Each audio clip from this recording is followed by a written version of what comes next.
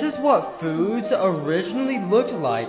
Alright, firstly, this is what an eggplant used to look like. They used to be small, round, and even looked like an egg. They only used to be used for medicine, but after selective breeding, we have the eggplant that we have today. Next, you're probably wondering what this is. Well, it's a cucumber, and they used to be toxic and spiky. They also had four large seeds inside of them, and it was said that they were so toxic, they could kill you. Now, this will blow your mind. The wild banana used to be hard and full of seeds. And over time, they changed into the banana we all know as today. Moving on, strawberries used to be a lot smaller and even tasted better. But then a French spy brought Chilean strawberries into Europe. They were then mixed together, giving us the strawberry we have today. Finally, the watermelon used to have six pie-shaped pieces and was very bitter, but would you eat this?